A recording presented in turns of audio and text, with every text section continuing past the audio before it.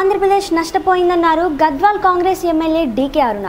నిబద్ధతతో కాంగ్రెస్ పార్టీ విభజన చేసిందని విభజన హామీలను నెరవేర్చడంలో బీజేపీ ప్రభుత్వం విఫలమైందని ఆమె చెప్పుకువచ్చారు కేంద్రంలో కాంగ్రెస్ పార్టీ తిరిగి పూర్వ వైభవం వస్తే విభజన హామీలను నెరవేరుస్తానని ఆమె చెప్పుకువచ్చారు తెలంగాణ అనేది కుటుంబానికే వచ్చిందని తెలంగాణ ప్రజలు ఆశించిన తెలంగాణ రాలేదని ఆరోపించారు Gadwal MLA DK Aruna.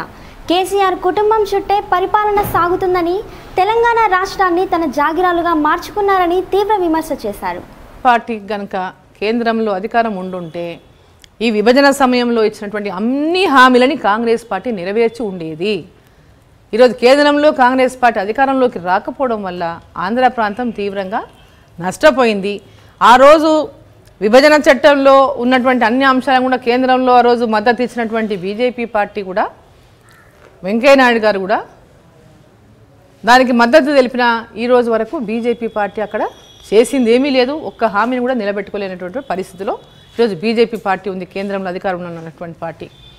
మరి ఈరోజు వచ్చే ఎన్నికల్లో రెండు వేల పంతొమ్మిదిలో ఖచ్చితంగా కాంగ్రెస్ పార్టీ అధికారంలోకి వస్తున్నటువంటి విశ్వాసం ఉంది కేంద్రంలో కూడా మాకు. టీడీపీ కాంగ్రెస్